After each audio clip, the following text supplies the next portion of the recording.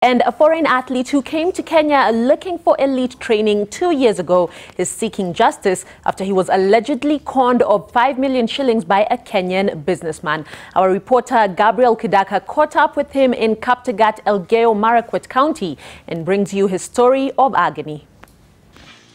Shuang Liu was hoping to improve on his prowess in track by training with big names in the athletics industry when he came to Kenya on 20th November 2017.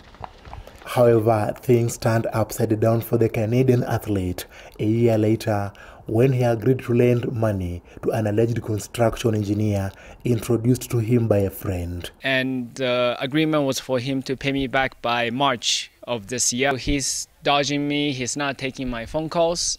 Um, you know, it's very unfortunate that he's not honoring his promise. Tunasikia uchungu sana juu jamaa alichukuliwa pesa yake. With no money and in a foreign land, Liu says he finds it hard to concentrate on his training. It's been very stressful, always in back of my mind, uh, thinking about my money, whereas I supposed to be focusing training. He now depends on friends and training partners at a training camp in Kaptagat for upkeep. I'm getting help from my friends here. Um, it's good to live with fellow athletes, and they're my friend. They're also my training partners. They help me. I filed the case.